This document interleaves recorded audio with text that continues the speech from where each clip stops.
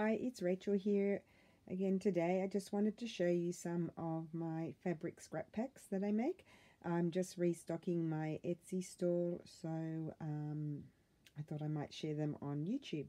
So these packages are normally made up of um, vintage and antique fabrics with mixed with some new fabrics and they often have uh, antique hemp and vintage hand embroidered fabrics some new fabrics and then also some textured sort of fabrics that I used to use when I made scarves. So I've been collecting fabrics for a really long time and so I've obviously got a huge stash that sometimes I need to uh, reduce and also sometimes when I buy antique fabrics I get a huge quantity of them or a large piece that I'll never use all of it so I, I share some of it in my scrap packages as well and there are also uh, trims and then uh, little bits and pieces and hand stamped antique hemp that I love to use on all of my work whether I be sewing or making books and um, I think that's about it. So I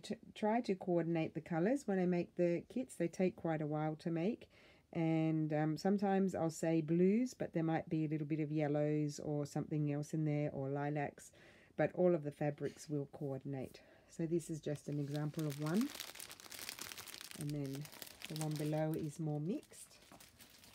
And then I have this one here too which is more sort of pinkies and yellows as well.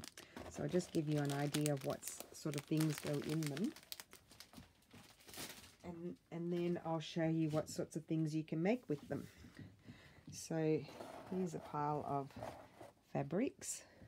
So these are some antique fabrics that I have, some hand embroidered fabrics, um, sometimes a doily, some more hand embroidery, and then also, if I get down to here, I'll just move those out of the way, There'll be some pieces of antique hemps and these sort of strips are really great for fabric weaving and then bigger pieces. So these are the bigger pieces and you'll also have some textured sort of fabrics in there as well. And then I like to also put in all different types of trims too.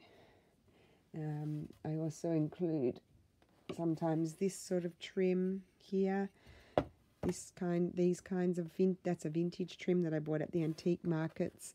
So is this one. And then vintage or antique buttons like these.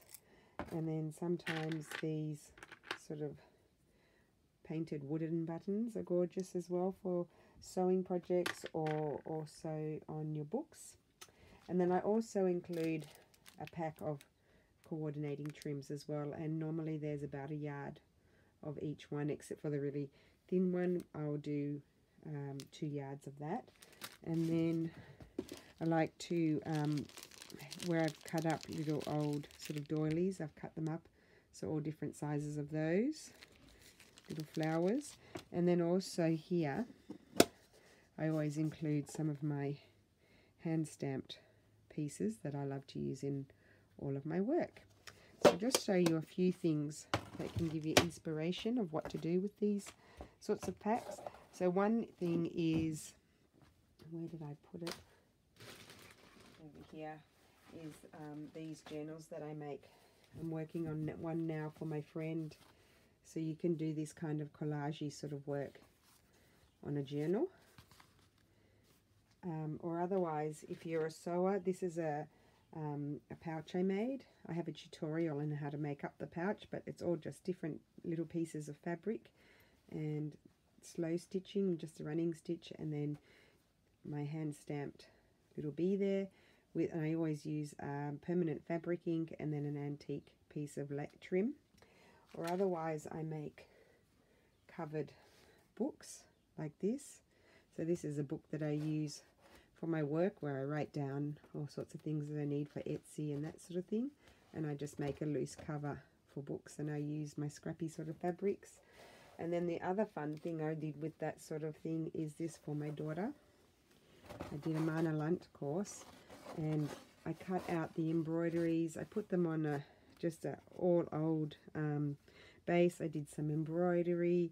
I appliqued old trims. I made yo-yos, little doily sort of flowers.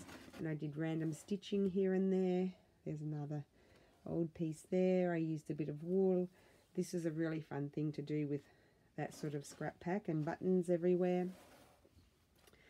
And then the other thing that you can do is also this kind of slow stitching. So all pieces of fabric, different colours, and then heart, different, a study of hearts. It's called a nine patch. Um, and this was inspired by Jude Hill. I did a course of hers several years ago, and this is something that my mum actually made. Um, she made one when she was here, and then she made a whole lot when she went back to Australia. So just wanted to share those with you. I'll be updating my Etsy store later today. I do have the packs listed, but I need to update the photographs with the new packages that I made. So, oh, oh here's another thing, sorry. I'll just show this one. So this is one that I've also made with lots of scraps. It's not quite finished yet. I might do a video about this one day. And I've even cut the flowers out of the fabrics and then embroidered over them and there's still quite a bit of work to be done on that one. So just to give you an idea of the sorts of things that you could do with those scrap packs. They're also great for journal making because there's all different types of te textures and um, buttons and stamp things as well and trims that can be used in making journal covers. So that's all I have for today. Thank you for watching and I'll be back soon. Bye.